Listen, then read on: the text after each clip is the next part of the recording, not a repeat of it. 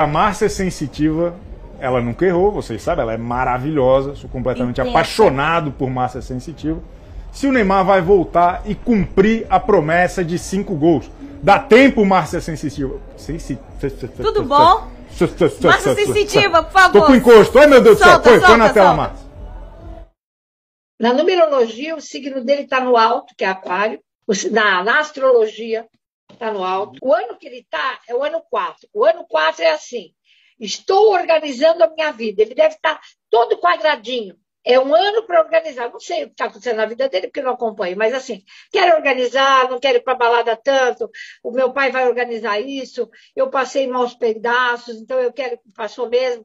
Minha vida tem que ser mais organizada. Ele está nesse momento, a vida pessoal. Obviamente que isso vai para dentro de campo, e eu não tenho dúvidas que ele vai fazer isso que ele falou. se por acaso ele não conseguir é, cumprir isso. Porque, por mais que esteja favorável, talvez ele não consiga. Né? Sempre tem essa possibilidade.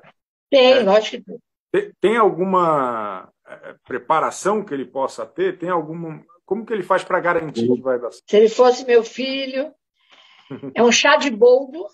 Ele tomaria um chá de boldo, tomaria, não, eu jogaria na cabeça, que é o banho de Jesus. Ele é filho de Jesus. O ano que vem é o ano do Neymar, porque ele é filho de Jesus na mitologia, que é Oxalá, e é Jesus que vai comandar. Então, eu não sei o que ele vai fazer, o que vai deixar de fazer. Por isso que eu acho que isso já vai ser a glória.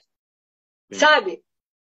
que o ano que vem estoura para ele. Então, eu tomaria um chá de boldo e acabou na cabeça e pronto. Chá de boldo é, é bom para ressaca também, dizem, né? Pra quem gosta de uma balada. É bom demais, mas é para tomar banho, pô. Ah, para tomar o banho de chá de boldo. É, na cabeça e tudo, Ah. não é para tomar. Ah, olha só, bom isso. E, e a Copa vai ser melhor para o Neymar ou para os parceiros dele?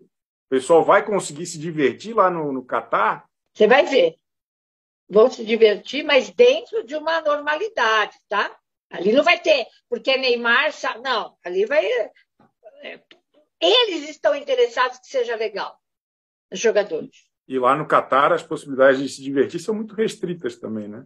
Zero, né? Quase. Vai dormir cedo, vai ouvir música e tá tudo certo. Será que, que dá para prospectar para o Neymar um- um- uma ascensão dele como o melhor jogador do mundo, o melhor da Copa, ou, ou, ou ele como apenas na seleção? Eu vejo ele apenas na seleção, mas o ano que vem ele pode ser do mundo, porque eu te falei que está no melhor ano da vida dele. Pô, essa Copa podia ser em 2023, hein? Caramba!